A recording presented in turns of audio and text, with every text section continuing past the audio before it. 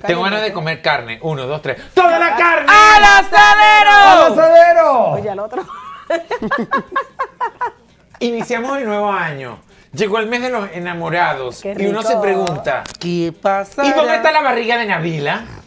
¿Sí o no? Señores, Nabil está felizmente ay. embarazada con su pareja. Por fin la pegó, por fin Návila ya viene con una vida estable, tranquila, como ella se lo merecía. Porque ella es una buena muchacha, ella es trabajadora, me decía. Está con el negro. Pero mi amor, El titular dice: Pelotero Framil dice Ay, no. adiós a Navila Tapia. Ese juego de pelota ya se acabó. no, no, no, no puede ser. como perdido. No, no, no, no, no, no, no, no. Eso Tú- tiene, tú- tú tiene que haber un error. En Tú como en el aire, como que no. Eso es ya no está con ella. muchacho. No, no, no. Tira. ¿Qué, qué tú dices, Enrique? ¿Muchachos quién? ¿Nabila quién? No No, no, no, que sí, que estoy viendo que. ¿Será que perdió el muchacho?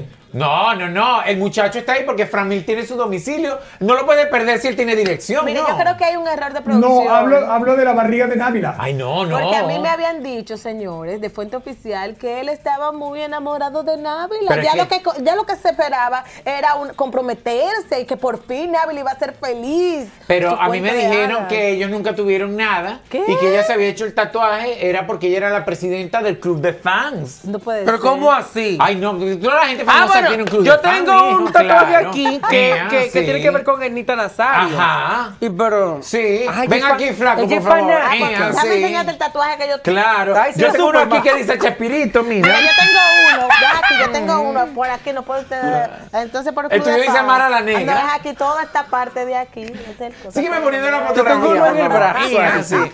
Y mire, y como ella era tan fanática, tan fanática, de un lado se puso Framil Reyes y del otro la mole, el apodo de él. fin. No, ella es, la, ella es la encargada del club de fan mínimo. Ay, no. Por bueno. Para la todo el mundo. presidenta, presidenta mejor que encargada, ¿no? Señores, por fin ya están hablando de la lista de invitados para la boda. Habrá un compromiso. Cuénteme, porque Nabila ya se lo merece. que no hay boda, tú no Pero amiguita de ella. estuvieron juntos. ¿A ti que te Ea, invita ella a la sí. boda? Ay, Ahora, Para me, me dicen que él ya volvió con la e- con, con su ¿Qué? ¿Con la mujer? ¿Cuál- con- cuál- con- con- como que Ay, yo quién no había sé. terminado. No, que estoy perdido. Pero Ay. realmente yo desconozco esta, Coño, la pito ha hecho un chisme y no lo termina de echar pito. No me eches más chisme, mi hija. desconozco este sabor. Mía, ¿Pero pero, tú dices que volvió con la mujer, mijo, que no quiere nada con la vida. O sea, él se mete con Nabila, la ilusiona, la enamora, le pinta pajaritos en el aire y en la barriga y ahora la deja. No, no, como no, no. perico en la estaca. Yo lo Va sigo- a volver mira. con la mujer. Yo no sé quién es más malo. Si la mujer por recibirlo, Nabila por dejarse bufiar o él por estar cogiendo dos mujeres de relajo. Yo lo sigo a él Ay, en no. Instagram. Voy a estar pendiente de cualquier cosa que Ay, haga. El moreno tiene su saoco. Mi amor. Ah, y mi el, y el grupo de amigos. Mira eso, Ay, mi amor.